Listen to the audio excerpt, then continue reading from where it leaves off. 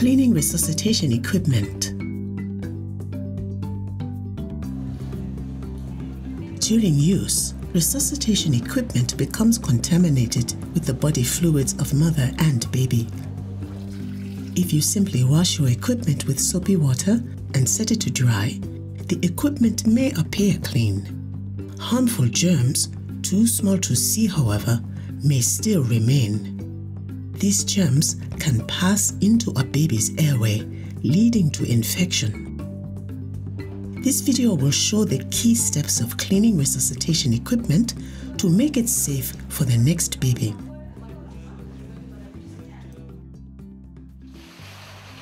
The first step is preparation.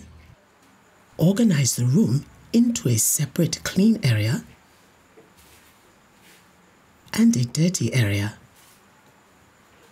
Wear protective clothing to protect yourself from harmful germs on the equipment and any splashes of chemical.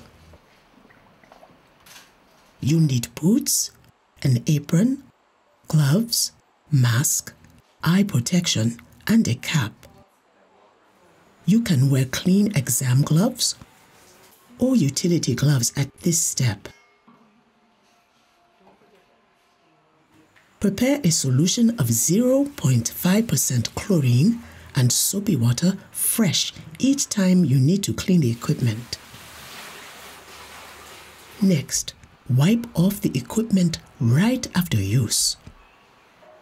This step makes cleaning easier and safer by removing secretions before they harden on the equipment and removing harmful germs such as hepatitis or HIV. Dip a piece of gauze in your solution of chlorine and wipe all the surfaces on the outside of the equipment.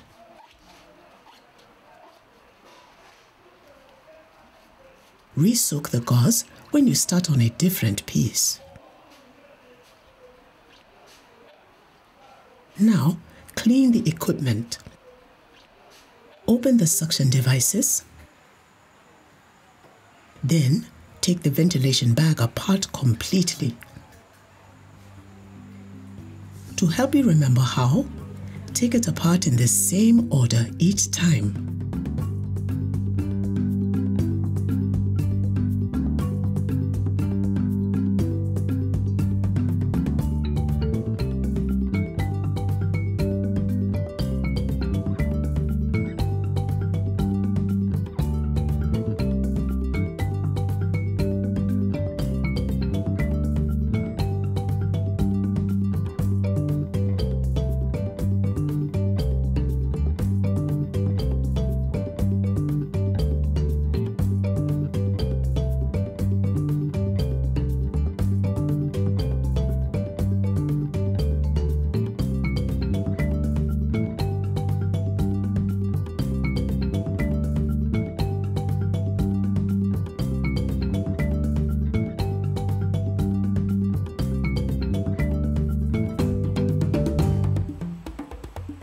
Numbering the parts is another helpful way to remember how to take the bag apart and how to put it back together. Now, scrub all surfaces of each part inside and out in soapy water. Use a clean cloth and a soft brush.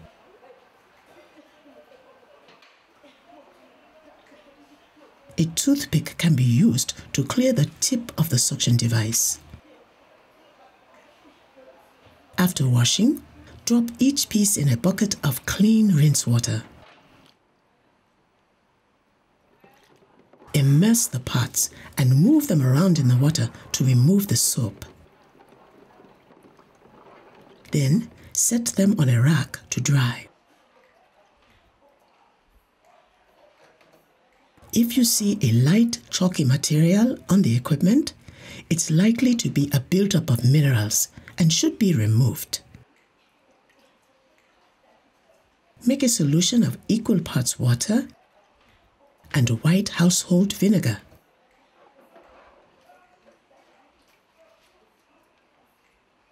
Soak the submerged parts in the solution for 10 minutes. Then rinse them in a bucket of clean water until they no longer smell of vinegar.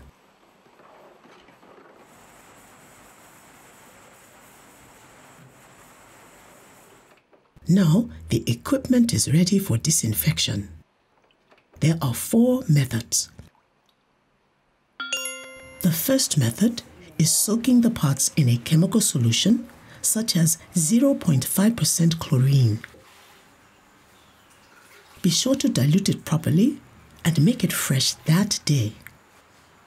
Label it with the date and time. Also, prepare three buckets of boiled and cooled water for rinsing. First, dry each piece inside and out to avoid diluting the chemical. Then, immerse them in the container of chlorine. Be sure all parts are completely submerged and none are floating. Cover the container. Now, start your timer. Soak the pieces for 20 minutes in the chlorine.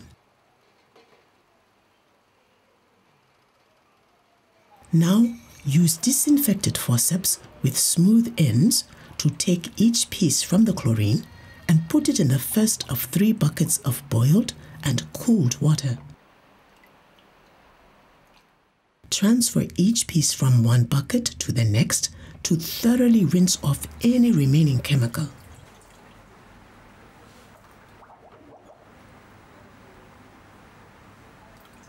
Then remove each piece from the third bucket, shake off the water, and place them on a tray that has been disinfected.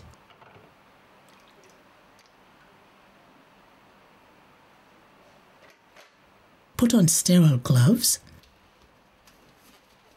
and dry each piece inside and out with sterile gauze. The second method is boiling. Put all the pots in an empty pot. Add clean water. Be sure all the pieces are submerged and full of water so they don't float. Next, close the lid. Bring the water to a rolling boil. Then start your timer. Boil for 20 minutes. Then turn off the heat and remove the pieces. Put them on a tray that has been disinfected. Put on sterile gloves and dry each piece inside and out with sterile gauze.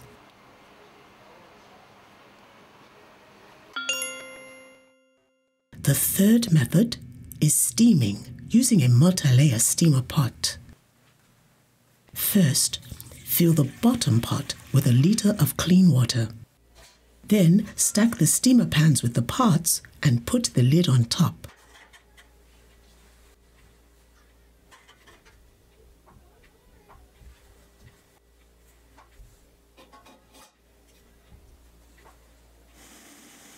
Bring the water to a boil. When the steam starts to come out between the pans and the lid, start your timer. Steam the items for 20 minutes. Remove the steamer pans one by one, shaking off the excess water, and place them on an empty pan on the counter.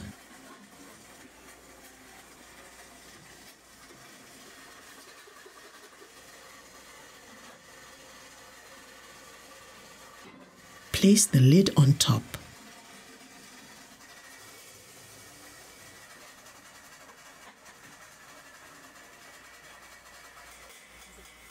Let the equipment air dry in the steamer pans.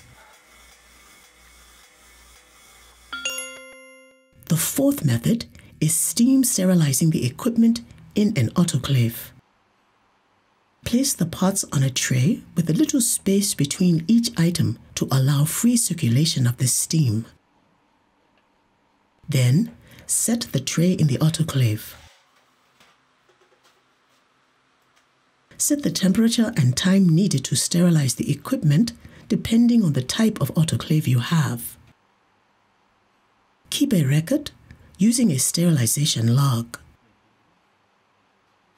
Once the complete sterilization cycle is done, let the equipment cool before removing it from the autoclave.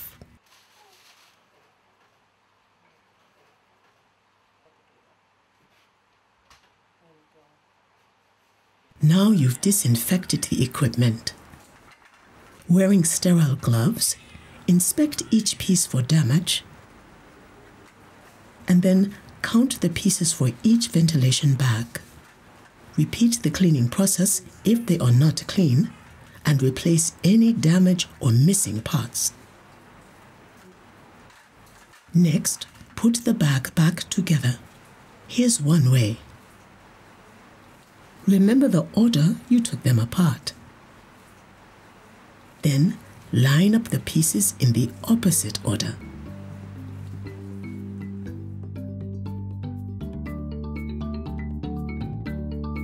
Start with the last piece.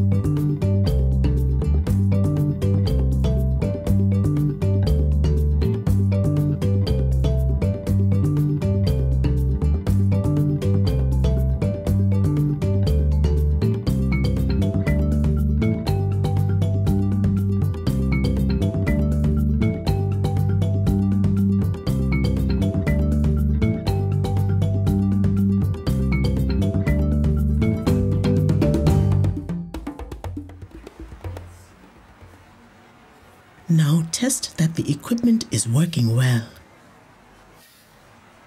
First, squeeze the bag and watch for the valve to open and close. Next, make a seal with your palm and squeeze the bag. You should feel pressure against your hand. See the bag re-inflate and hear air escaping from the pop-off valve.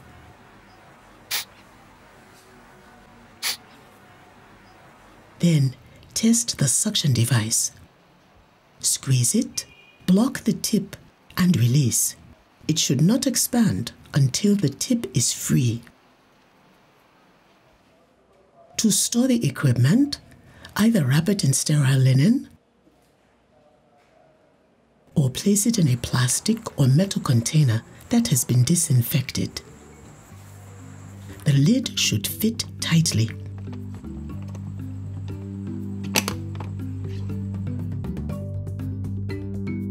Remember, to prevent the spread of dangerous germs, thoroughly clean your resuscitation equipment. Follow the steps. Wipe the equipment, take it apart, clean, then disinfect it, dry, then put it back together, test, and store it. Make sure your equipment is safe for the next baby.